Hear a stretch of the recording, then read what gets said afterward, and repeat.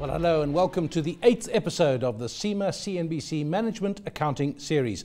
I'm David Williams. Today, my guests and I aim to demonstrate the applicability of the Global Management Accounting Principles, GMAP, within the practice of financial strategy. And joining me to unpack these principles are Emily Phiri, who's Regional Finance and Business Performance Manager at SA Breweries, Vivien Erasmus, Chief Operations Officer at CMA, and Nathi Thela, founder and CEO of the Institute of Management Accounting and Strategy.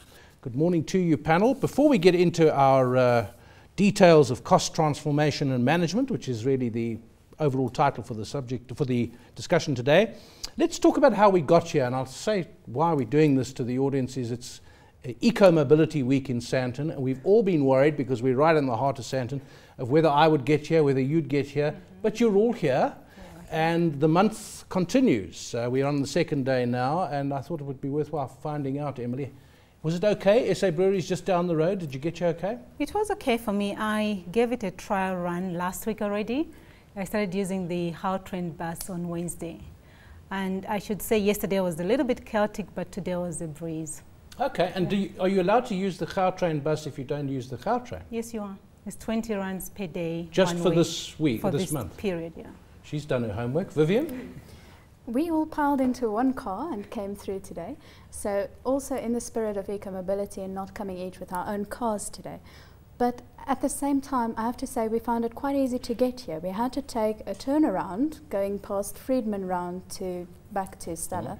And that was a bit of a upset, but not too much of one. So there's hope for the month. Well, what's happened yesterday and today is that uh, people seem to think Stella Street is a through road. In fact, it's a dead end. So all the cars are going down thinking that's the way to get to Catherine, and they're all having mm. to turn around and come back, including a bus which couldn't. But, but, these are these are teething troubles. Nathi, how, how did you make it?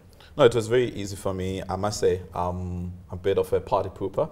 I didn't join into the whole festival mode. I drove my car oh, all the way here. Oh, that's terrible, eh? because I come, I come from the West Rand, therefore I was not sure how actually I was going to end up in Sandton. Um, at some point, I thought of driving to Cresta, leave my car there, and jump into the park and ride facility. But I thought, you know what, let me just drive and see what happens. And what happened was you got here on time. So I got here on time. Actually, I was an hour early because I thought I may be affected by the eco-mobility, but thank God I'm here. Okay, so it looks like people are giving it a go and finding out ways of doing things. So uh, yesterday, a lot of people were cross, but I think it's perhaps going to work out. Yep. Probably, especially if you look at the amount of initiatives the city has taken mm. to bring in public transport, mm. having the free shuttles from almost every corner to assist people to get to these in destinations in Sandton. Well, very positive thoughts there. Okay, that settles us down now for our discussion on cost management accounting. And the topic today is cost transformation and management. And I, I thought before of all the others we've had, this is perhaps goes to the heart of cost management, uh, of, of uh, management accounting, because in the end, accountants love to deal with costs and find them and take them out of the business. And this is what it's about. So let's start perhaps with each of you from your own experience saying, I mean, obviously, good businesses over many years have cut costs. Mm-hmm. They know that to do that, you, you, you need to cut costs to make a good business work. But management accounting, the discipline, is saying we can do much more. It's not simply a question of reducing costs. So let's go through the panel and talk about how management accounting recently, in the last few years, whatever the time period, has made a difference to cost management. Um, David, I believe that um, we have the, the capability to make a difference. However, whether we have the space to actually influence the business uh, in terms of cost reduction or cost management, it's another question. Um, I found that we always come up with good ideas, but when it comes to implementation, that's where we're found wanting. You use the word space. Do you, you mean the space in the business? No time? Literally no space in the sense of uh, no people, no room to move in the organization? No, by using space, actually, I'm, I'm referring to having access to the decision makers and being listened to. Mm. You know, it's very important because you, you, you can have a well-crafted document, but if you can't actually present it to the powers that be, then it's going to remain a good document that actually nobody knew about it. I have to agree there. I found it very much in South Africa. We still have to battle sometimes the mentality of, I'm going to give you what you need, mm. not what you want. Mm-hmm. And we found it difficult, especially auditing and accounting world, mm. where you have so many bright ideas, and we've all heard about it. Ask the tea lady, and the tea lady is the one with all the answers at the end mm. of the day. Mm. But it comes down to communication with each other and getting to the stakeholders who make the decisions. Because if they don't know about the ideas, the chances of implementation are very little. I can see a theme already emerging here, which we've come across before, and that is it's political, not technical. It's not mm. the accounting. It's it's a, an internal political thing. Unfortunately, I think with uh, the company that I'm working for, it was not a management accounting idea per se. We came to a place where we realized for us to be competitive, for us to catch up, for us to make a difference in this global economy that we find ourselves operating in, we needed to find a way of cutting costs. So the decisions were already made. We didn't have to push it from a management accounting point of view. Strategically, the decision makers that you find you do not have access to came up with, we promised the market we're going to save so much globally out of SAB Miller. So make it happen. Yes, make it happen. So that's but where they are. If I could just interrupt you there, SAB Miller and most companies, but I found SAB in particular, because I worked there for a while, so I do have some experience of it, it was very fierce on costs. It's mm-hmm. always been part of the culture. So I'm interested now, you're coming to the, you've been there a couple of years, and you're saying the decision was made. In a sense, the decision was always made. But what you're saying is there's always room to there's save There's always room, and I think what we did differently this time around was we created an entity called Global Procurement. And what global procurement does is consolidate all the purchasing globally. So we have economies of scale and we can cut down costs. We have direct access to our markets. We've got direct access to our vendors, our suppliers. We have one global supplier supplying to the whole of Africa, Europe, Latam, Asia Pacific. Mm. So we, we are e we, it's easy for us to negotiate costs down. Mm. So yes, there was always a decision to cut costs, but we came up with a brighter way of doing it.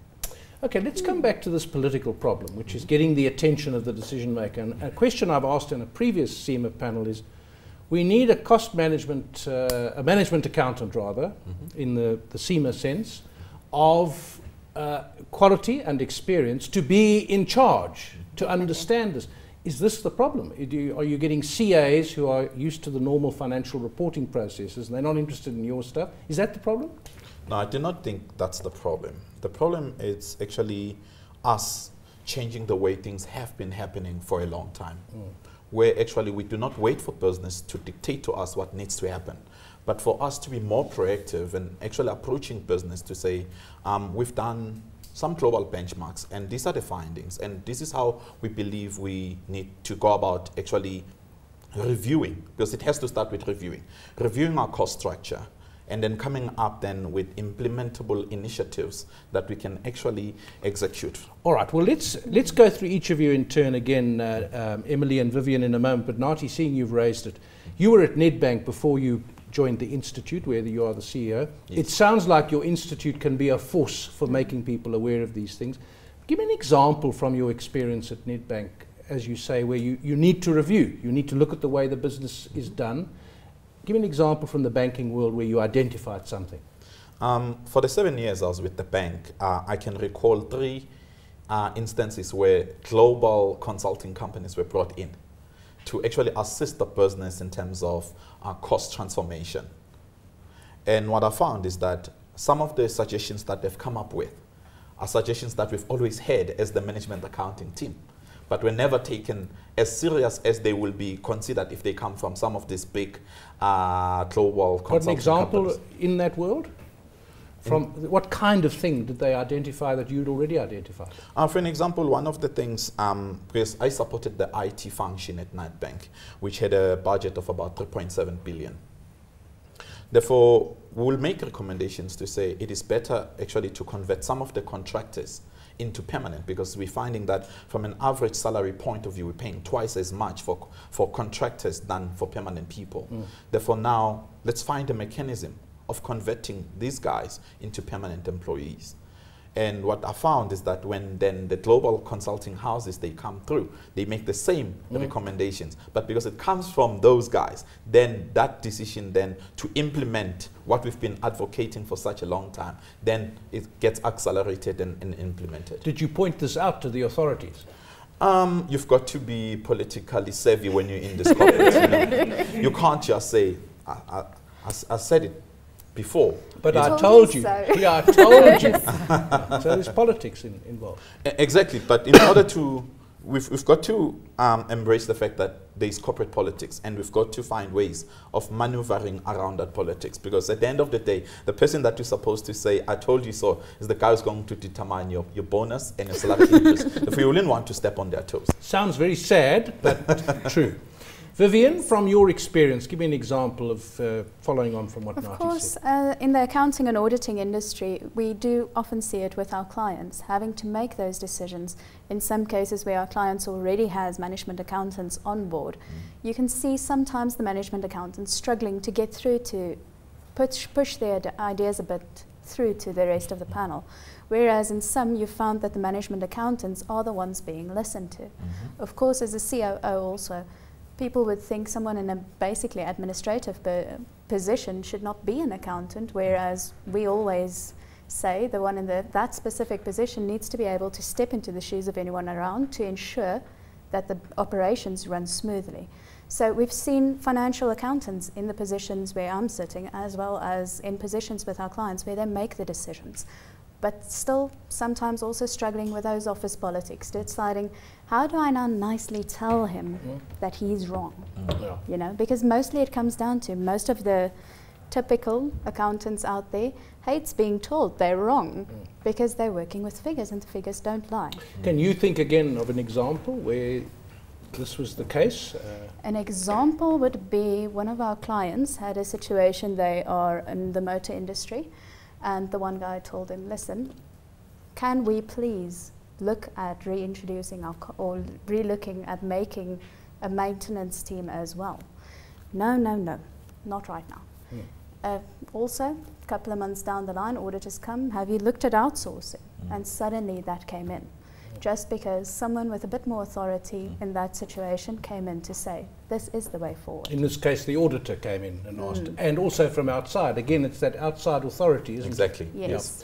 it? Emily, SAB, you came to there f- f- uh, a couple of years ago. It's a long, proud history that the company has. So, did you run up against uh, some walls when you wanted to change things?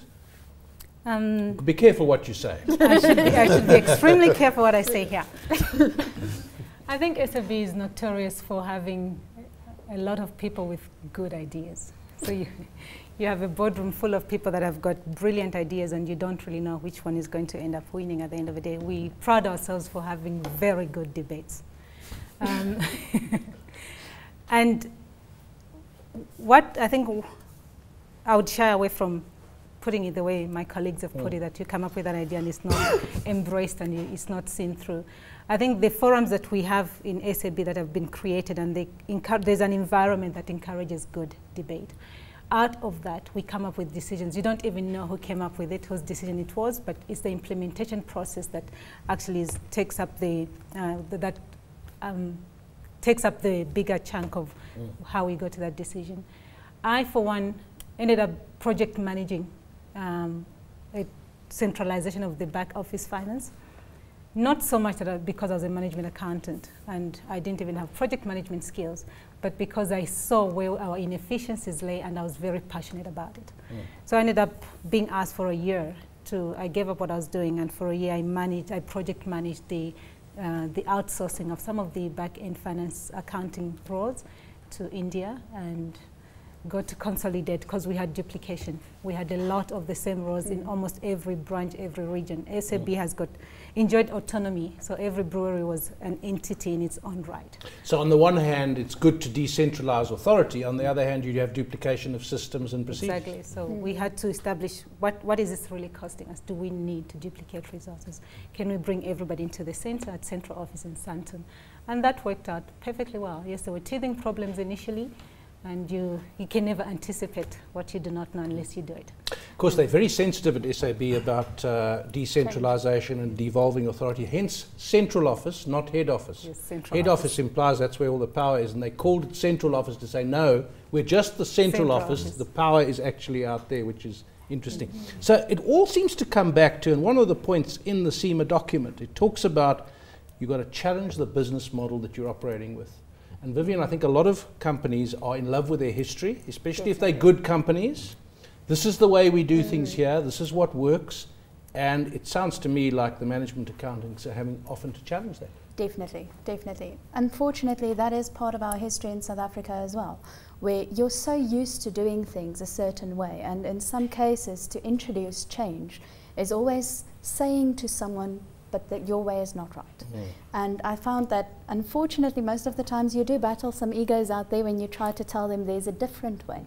Of course, at that moment in time, all that person hears is my way is wrong, mm. which immediately raises hackles and causes mm. conflict. But in some cases, like with SA Breweries centralizing some functions, we found it as well. If we centralize some of the functions, you cut down on costs and suddenly productivity increases and you've got more time, more resources available to spread around to the other teams. Now, Nathi, you're at the Institute of Management, Accounting and Strategy. I mean, this puts you at the heart of the thought leadership mm. role for this industry. So it's not, you were at Nedbank dealing with Nedbank resisting or not resisting change, trying to bring things in. Now you're in a position where you can actually look at the profession as a whole. Mm. It sounds like your interventions are as much political, psychological as technical. No, that's very true. Um, where we start, actually, um, we, we start with the CIMA curriculum. Um, I'm, sure in your previous engagement, um, you've touched on the fact that CIMA had to review its curriculum. For now, the new curriculum has actually taken into account uh, what is happening out there. For now, we are helping in terms of training the people that will be corporate savvy that will have all the technical skills in order to engage uh, the different stakeholders that exist within their organizations. Therefore, we are focused mainly on the uh, technical side, but then helping people as well to, to develop uh, people skills that will allow them to maneuver mm. um, in the midst of the corporate politics that we mentioned earlier. Mm. That's where we are currently focusing. But there's something that I want to also mention, David, um, which was was mentioned by my colleagues here, is that what I have actually observed is that many organizations only go through rigorous cost uh, reduction as a reactive yes. measure. Mm -hmm. It's never done actually as a proactive um, and usually when, when, hard times come. Mm, exactly, definitely. exactly. And uh, a, a, story that is quite um, familiar to all of us here is, is the story of the global uh, steel industry where mm -hmm. actually um, the steel that is imported from China is 25% less than what actually it's costing South African companies to produce. And therefore now these guys, because they're facing uh, this dumping of mm. Chinese steel in the local market, now they, they're saying, let's wait and see. What can we do to counteract mm -hmm. the dumping of steel? -hmm. But they're going to go and come up with rigorous and um, very drastic measures to try and address the cost element. But the question is this, why were you waiting mm. all this time? Mm. You understand? Therefore, I'm, I'm just trying to... to, to, so to what you're talking about is inculcating an attitude. Mm -hmm. Exactly. Uh, which is saying, don't wait for the bad times, -hmm. you can exactly. save costs now. Exactly. So lots of nodding, uh, Emily, while he was uh, saying that. Yeah, and I think um, as much as we say that we wait for the hard times to come up with cost-saving measures. I think, like you rightly said, SAB has always been doing that, whether before the recession, mm -hmm. after the recession, something that has been at the core of SAB.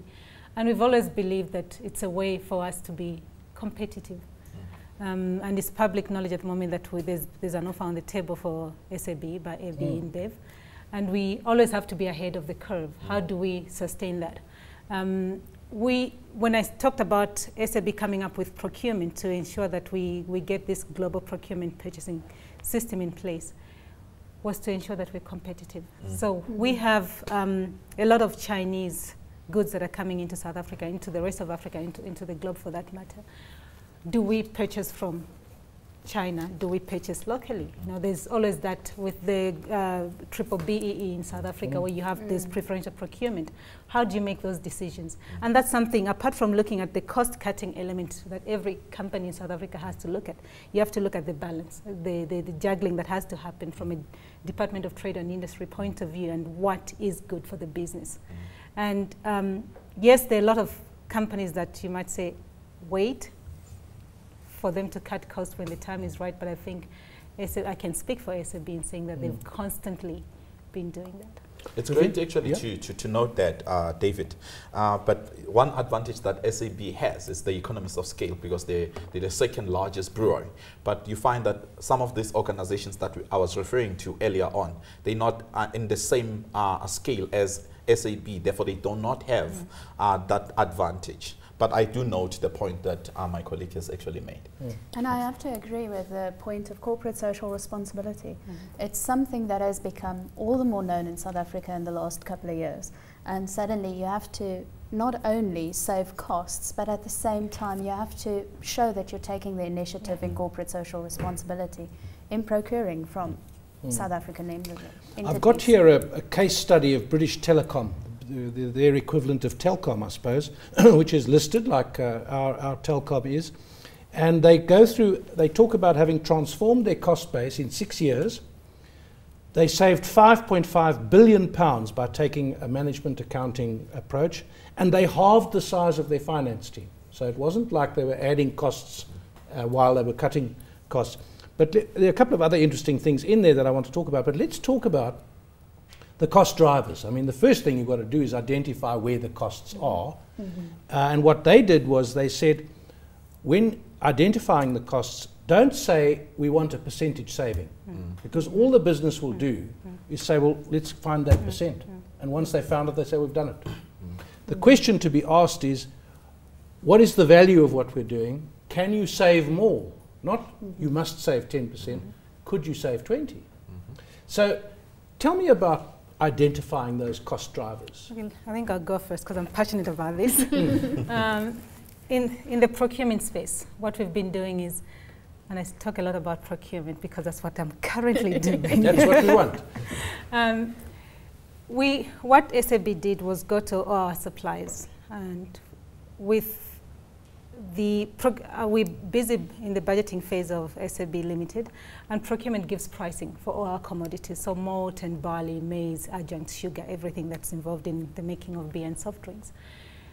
It was not good enough for us to just go out there and procure, negotiate contracts that are good enough. We went into the spaces of our suppliers and said, fine, when you charge us this particular cost, what drives it? How much of that is labor? How much of that is your inefficiency that you're passing on to us? So we actually uh, partnered with our suppliers. We, for example, um, down-gauged our cartons. We made them smaller.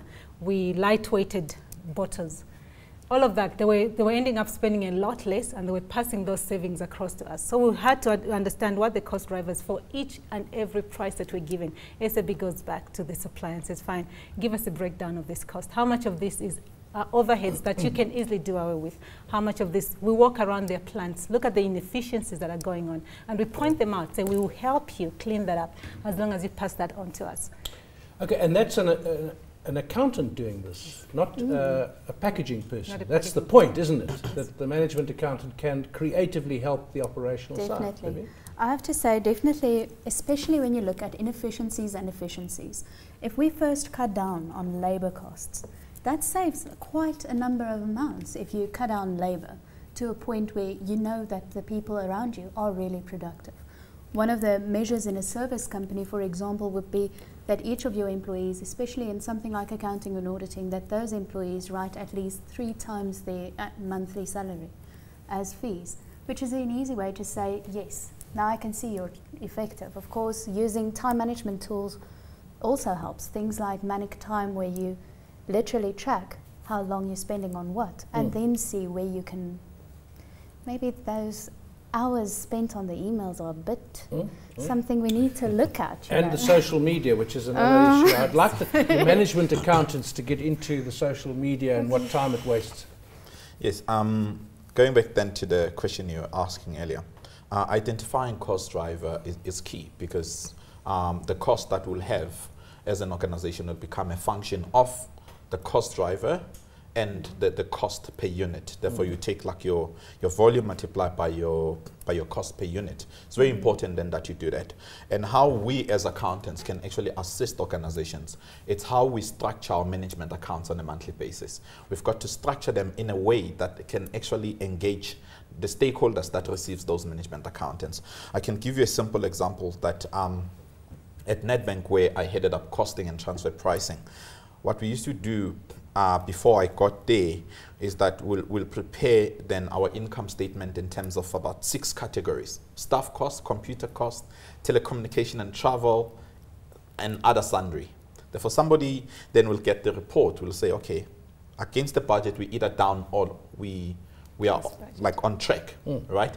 But then it says nothing about the, the cost drivers. Therefore, now what you will want to do is to say, okay, I have staff cost, it's 5% below our budget, which means a positive variance. But let me actually further break down this staff cost into the number of people that we have. Mm -hmm. How many people do we have? How many are permanent? How many are contractors? What's the average salary per each category? So that you can have a better hang in terms of a better handle in terms of what is driving the staff cost. Mm. Because what tends to happen in many organizations is that if David resigns, the next day, when he walks out of the office, you want to replace. But we never actually have a discussion that says, do we really want to replace David? Do we really need to? Well, the other part of that discussion mm. is we don't need him before he resigns. exactly. Which is what retrenchment is about, I suppose. So exactly. But then now what I'm trying to push for, it's a culture where we're more proactive. Yeah. Mm -hmm. But also as management accountants, try to move away from the traditional way of actually reporting. Mm. Report in a manner that will actually add value to the organizations. And isn't this the key? It's the communication of these concepts exactly. that gets the attention of the business. That's exactly. The so we're going to talk. Always key. Yeah, we're going to talk in a moment about communication mm -hmm. to the business and with uh, the management accounting function, and the people, uh, the costs of people, and outsourcing and doing it yourself. But we're going to take a short break before we do that. When we come back, we will continue the discussion and we're going to take some questions and comments from our studio audience. Don't go away.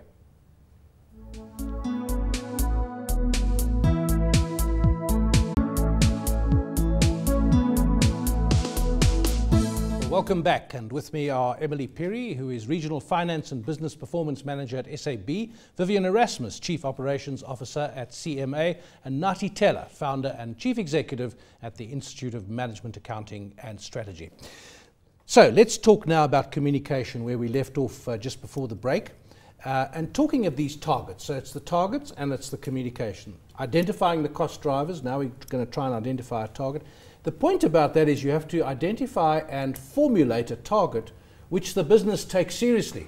It's no use imposing a target, people say, oh, please, we can't do that, and nothing happens, Vivien. I have to say that's very true. If you don't implement or strategize properly, especially when you don't involve your team, I think that's also key to implementing and properly strategizing and developing a plan is to talk to your team and find out what is what is possible to save on.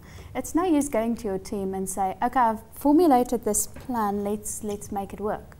Because yes, you might get away with it 80% of the time, but you're going to end up with people resilient to this change. So many of the formulation goes around asking, talking, discussing, and saying, this is what we need to do, this is why we need to do it, especially with things like retrenchments coming in, where you have people already thinking, maybe I'm going to lose my job. Maybe we need to figure out how to work around this. And then suddenly you get all these bright ideas coming in, and you're wondering, why haven't I done this sooner? Emily? SAB is big on ensuring that the targets are well known because we get what we call short term incentives on a yearly basis, and they're target driven. Mm. So from the get-go, when targets are set at the top and they cas they're cascaded down to the different functions, different departments, different regions, you get to a place where everybody in the organization knows what it is they're supposed to be working towards. And on a regular basis, for example, in procurement, every quarter we look at what, how we're doing against the targets that we set. And if they're not going according to plan, what can we do to ensure that we get to the numbers that have been uh, set for us? Um, with what works for SAB is the fact that we've got targets that are joint co-owned. So you've got a department like procurement that has got supply chain and manufacturing mm. targets that we cannot deliver on our own. For example, if we came up with, we're going to save so much by downgrading or da by uh, light scaling a water bottle. Procurement is not technical. Mm. We can negotiate a contract the technical aspect has to go and make sure that that's done. And we have to agree from the get-go how we save, how we share that mm. savings. That's Whereas I think the old model would be the technical guys say, this is what we're going to do, and then afterwards the accountant say, oh, okay, how much is it going to cost? And that's the cost. That's, mm. that's how it used to be. Mm. That's true. Um, it's very important that actually um, we adopt the right approach in terms of communicating. So, uh, what tips have you got for organisations? We at the beginning of the discussion we heard some frustration. Mm-hmm. Uh, you know, we, we know what to do. We, it's hard to get the attention of the business. We haven't the credibility, or we haven't the political clout mm. in the business. What advice have you got for people in that position? Because you're in that position now where you're seeing what's happening in business. Yes, um, it starts by actually educating or communicating to your direct report. If, for an example, I'm the CEO You've got to look at the, the impact of the macroeconomic environment and, and actually how it's impacting the business. Because if you can start by sharing the macroeconomic environment, you're saying we are currently in a very volatile uh, business environment, and therefore this requires us to change the way we're doing things. And then you, you, you bring it closer to home. You're saying this is what's currently happening in South Africa from an economic environment. This is how our potential customers are affected mm. by the tough economic environment. Therefore, now you bring it closer and closer, but using something that people can easily relate to. Mm -hmm. And then once then they, they, they, they, they've bought into the story, then now you're saying, we need to look at ourselves and come up with initiatives that can save us 100 million, 200 million. Mm. But where did you start? You started at a global picture, which is something picture. that people fully understand. I have to say, I agree with him there. Comparison. Mm. You have to compare yourself to the benchmark. Getting mm. that information might be difficult, especially in your small to medium enterprises, mm. but in your larger enterprises, that's easy to come by. Many of the JSEs but enlisted entities have yeah. published financial statements where you can say, this is the benchmark I'm looking towards. I was going to say, are the financial statements enough of uh, a benchmark for you when you're really doing this properly? Companies like to keep the information mm. to themselves. Mm -hmm. And SAB, you know, it's very proud, a lot of proprietary information, you don't share it. Instinctively, uh, they don't want to tell other people what they're doing, even if it's not top secret. Yes. So I, I, just want to, to say the financial statements by themselves are not adequate. Mm. Mm -hmm. However, um, in my time at Nedbank, actually, we engage with the Corporate Executive Board, which is a global organization that does um, a number of research. And therefore, one of the research or benchmark exercise that they do, it's looking at uh, budgets of different organizations. Then by participating in such a benchmarking exercise, then now allows you to compare yourself, number one, with uh, global organizations that have this, a similar revenue uh, mm -hmm. as yourself, mm -hmm. that may not necessarily be in the same industry as you, but also because a number of organizations participate in, in, in that benchmarking exercise, then they have the ability to actually compare your results with companies that are similar mm. to yourself. It isn't the danger here that you it's anti-competitive. So they won't disclose actually the name. Yes. Then they will say uh, peer companies without actually listing the names of those okay. companies. Mm. In some cases, of course, you also got the global rankings. IAB mm. is mm. probably the most well-known accounting and auditing ranking firm, mm. and they work on this very set specific staff, turnover, mm. and amount of offices. -hmm. So you immediately can see listen, we're at this level, whereas one of the bigger four is at that level. Mm. Or, but this is what they're looking at. This is the amount of offices they've got. Well, I suppose SAB, like a big banking organisation, you've got a global best practice now to work by. Mm. We do. You say that uh, very hesitantly. no, I think we do. I think when we we've been intros we've been introspective in a lot of ways previously, and I think we're getting to a place where we're beginning to compare ourselves to the best out there. Mm. We are not the best. We can. There's always room for improvement, and there are organizations that we can emulate, and we're busy doing that. for example, integrated uh, supply chain that we, the road that we've embarked on, we were not the initiators, we're not the pioneers. Other companies are doing a better job than we're doing, and we're obviously trying to learn from them. Um, for example, I know that Mondelez has got a, what they call a closed loop uh, value realization, where they measure the costs, how the costs filter back into the income statement, etc. SAB has not implemented that yet, and we know that it's working for somebody else, and why are we not doing it? So we're always looking for ways to improve ourselves. But to analyze is, I think, always the best way of seeing where the differences can be made is exactly that to analyze with others and to constantly challenge your business plan. Mm. Constantly challenge where you can change, where you can go better, where you can work more effectively. Do you celebrate when you've achieved something? And I often think of the sales departments of big companies. I talk at conferences sometimes and it's rah rah stuff and they've met their targets and they get rewarded. This is the salespeople. I don't know if the accounting department uh, has a rah rah occasion. Guys, we always we met that celebrate when we meet that deadline, don't we? Yeah, but a, a deadline is just what you're supposed to do. Exactly. It shouldn't be a celebration. Exactly. That's what Unless your job you is. you are at that financial year end. yeah. But you raise a valid point. But what yes. about the celebration? I mean, if the business is to take you seriously and you're to take the business seriously, you need to celebrate success, don't you? No, definitely. Most especially when you know that you've come up with those initiatives mm. and you've seen actually them being taken serious. You know, you will celebrate. However, uh, as mentioned earlier, is that um, our role as uh, the finance team tends to be the one that policies people around. Yes. You mm. know, we're always chasing people um, and, and, and trying to make sure that people can stick to the budget. Yeah. That's what we do well. But that as well requires a change in mindset in a sense that I'll give you a typical example. A junior accountant will say to the business person when they come with an invoice, this invoice was not budgeted for. Oh. But a this junior accountant who's not uh, I will say, and then I'll explain, who's not CIMAD, which means who's not um, well versed with what CIMA is trying to inculcate in management accountants, right? Will say, there's no budget, go away. But a clever management accountant will say, do we really need to spend this?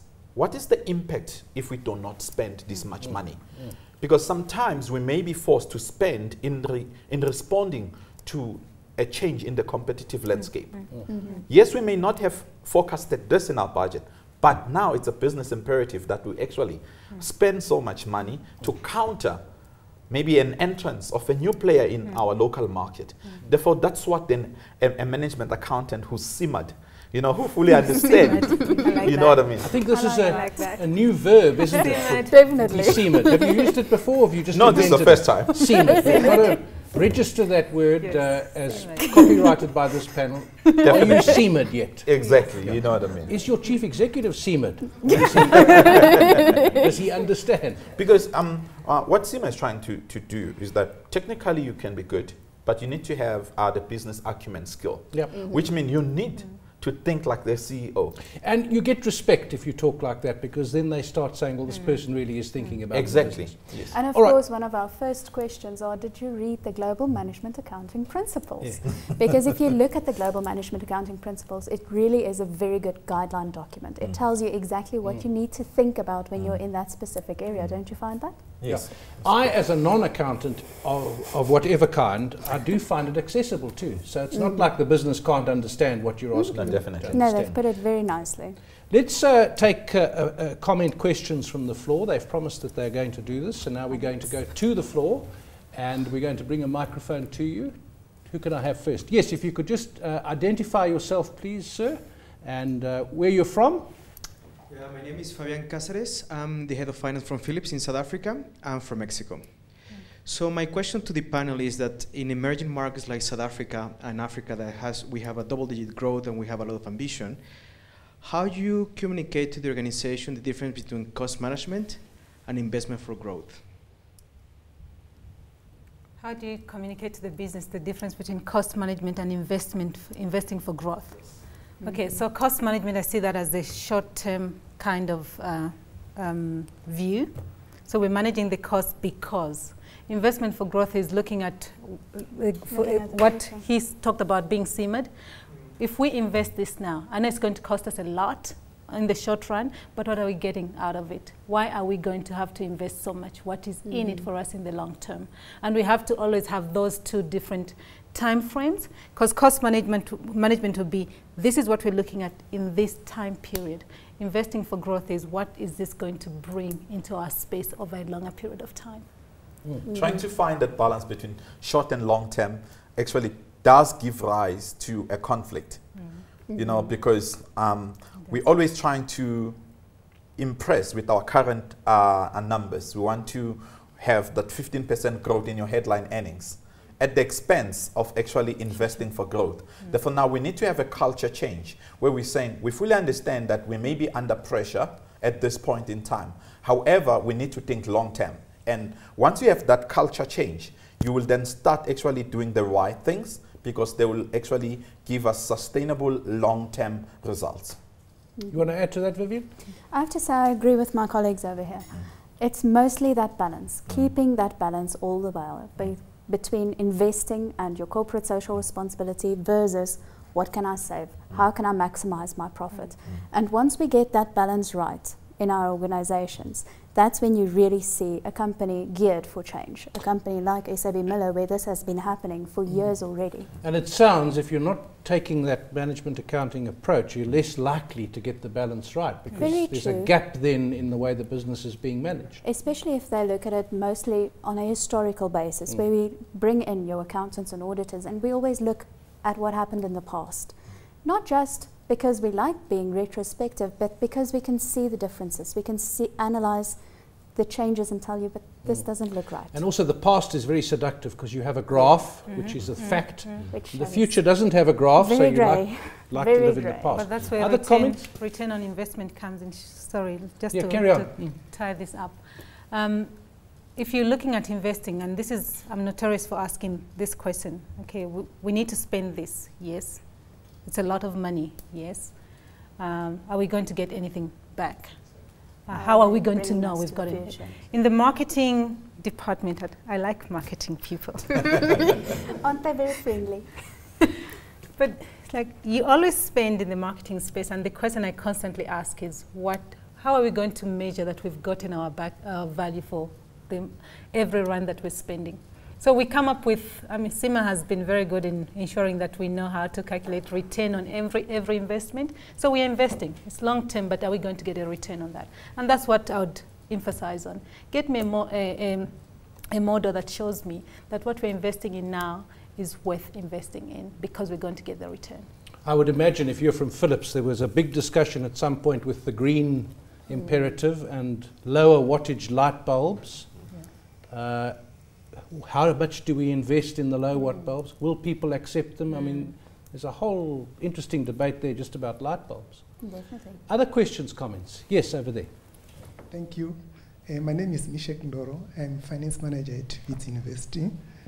Um, the management accounting techniques that we are using today, I mean, th they were developed in the 1950s, uh, in the 1920s, 50s, 1850s. So the question is, uh, cost, uh, the cost transformation, is it uh, keeping pace with the global developments? I mean, uh, companies go going, I mean, to other countries to operate. So is it keeping a pace? I have to say the new methodologies we bring in, especially the methodologies brought in by CIMA with the global management accounting principles, does really, they've spent a lot of time in developing this document specifically. And it does bring into it that you will see if you read through the global management accounting principles, suddenly we're covering a lot more ground than was covered even 45 years ago. Suddenly we're saying, think about more. Look at integrated reporting, which came in only a few years ago, which is something that suddenly we're not reporting less, we're reporting a lot more. So we're keeping up with what's globally currently handling out there. Yes, over there. Um, thank you. Um, my name is Alex. I'm from Certified Master Auditors. Um, my question revolves around the balancing of um, cost saving and employment. Looking at um, our situation that we are a third world country, and um, right now we have got unions uh, in the mining sector, for example, where commodity prices are coming down, but they are still pushing for higher wages and threats for retrenchment at the same time. How do you then bring in the cost transformation to uh, give value to Well, the a- companies? Again, it's that balance, isn't it? Uh, Emily, I know SAB, uh, you know, they believe in their people. On the other hand, when they save costs, sometimes they have to lose their people. There's this their people. paradox, isn't it? It is. Uh, I don't think there's one clear-cut answer to say this is how we're going to manage it. Otherwise, the strikes in South Africa would be history. Um, it's something that we're still trying to wrap our heads around. Where do you strike the balance? And everybody knows that with the with the economy not uh, performing at the rate, uh, growing at the rate we'd like it to grow, there um, inevitably will be job losses in the country. What we need, I think, what it comes back to the aspect of communication. And I know that you can communicate all you want to the union members as to whether they understand what it is that you're trying to communicate or not is a completely different story. But I think I would, I believe that from uh, at the source of everything, communication is key. And if we got all the, all the different parties that are trying to uh, establish ways of growing the economy, establish ways of retaining those jobs and not having to retrench so many people, and having the union understand that they cannot get the kind of demands, they cannot have their demands met. And from a management, from a senior management point of view, I think it's, tr- it's having to get to a place where you're sure that you're empath- you've got empathy for the union members that you're, um, you- you're dealing with. Uh, it's Yeah, a lot of it is they don't know where we're coming from. They Yes. don't understand Yes. us. yeah. Mhm. Uh, you can still disagree, but if you understand, it's, Yes. it's better. Yes, um, in this um, tough economic environment, having a, a low cost base obviously can give you a competitive advantage. You know, however, what we need to understand as well in South Africa, uh, I fully understand what um, my brother is asking over there, but uh, I found lots of organizations are just too lazy to think outside the accounting box. You know, they always say accountants can't think outside the box, but I found lots of organizations who are headed up either by engineers or by other people. They're lazy to think. And the reason why I'm saying that, it's always easy to look for, for retrenchment as the first option to cut costs. Um, during the financial crisis, Nedbank was the only bank in South Africa that did not retrench. And we know that some of our peers actually retrenched How did you manage that? It's because we, we communicated, number one, what was happening globally and what was happening in South Africa. And then we said, where else can we actually find cost savings? Hmm. And number two, we said to people, let's push productivity. Hmm. Because one of the uh, biggest challenges facing the mining industry is not an issue of overcapacity. It's an issue of low productivity. Hmm. Therefore, if you can communicate to all your stakeholders to say, we are currently facing a squeeze of, in our margins as a result of the low uh, gold or platinum price.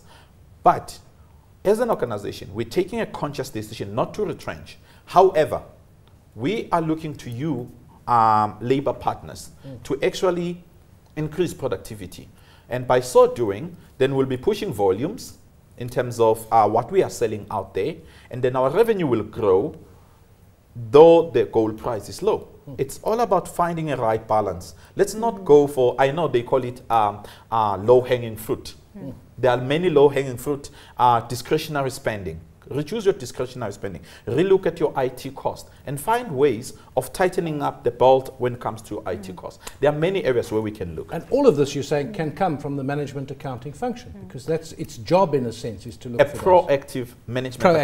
accountant who is simmered. Definitely. Exactly. Got to be It is seamed, seamless. eh? Exactly. Okay. That ties in very nicely with the telecoms hmm? case study you mentioned earlier. Because suddenly, if you start looking at where is my cost really lying, can is it really worthwhile outsourcing something or bringing it back? I'd, sorry to interrupt, Vivien, but we are running out of time. But I do want to mention that British Telecom example. And I remember the rage for outsourcing, and companies would talk about core competence. This is our core competence. Everything else we must outsource catering, IT, whatever. British Telecom, they found that they needed to move away from outsourcing. They put all their financial services back in house, and they were spending, they found before they did this, 400 million pounds a year on consultants. And you mentioned earlier, you know, the consultants can be much more expensive. So it's a false economy. Have you found this? Yes, I just want to quickly chip in here.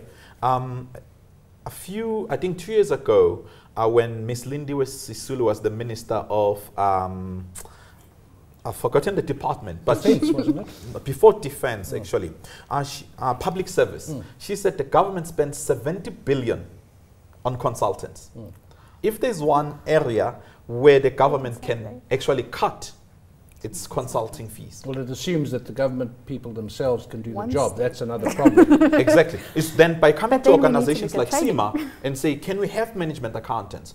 And uh, at some point, I remember that, that the Treasury Department was looking at introducing a CIMA training program where they can bring in people who are CIMA'd.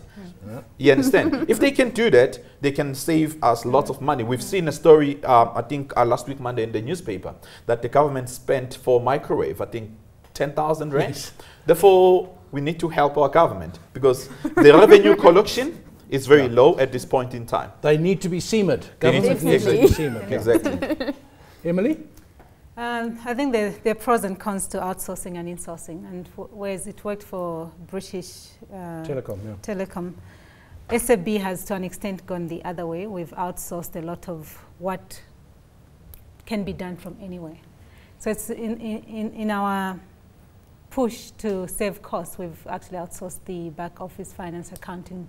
Isn't the danger then that you don't have control over I'll- what I'll they get to that, yeah. So um, you, which one is the lesser Your evil? you have to establish which one is which one can you live with okay yes. is it the reduced cost or is it the fact that you don't have control and there's a lot of a lot of SLAs that you get to manage so you spend more time managing SLAs than doing the than doing the job yourself if it was in-house so I cannot put my head on the block and say I'm pro or against outsourcing I think it's got its merits depending Okay. on It depends on each and every company. I think. have to guillotine this conversation. I'm glad I have to because it means there's a lot more to talk about, but we can't, uh, you know, we can't do it now. We'll return to some of these issues doubtless later. And unfortunately, that brings us to the end of this edition, the eighth of the CIMA CNBC Management Accounting Series. Been a great discussion. Uh, thanks to our panel and thanks to our studio audience. Uh, my guests, of course, were Emily Phiri, Emily Phiri, who is uh, Regional Finance and Business Performance Manager at SAB, Vivien Erasmus, uh, Chief Operations Officer at CMA, and Nathi Thela, Founder and CEO at the Institute of Management Accounting and Strategy. And thanks to you for watching, and remember to CIMA yourself as soon as possible. that was a very nice.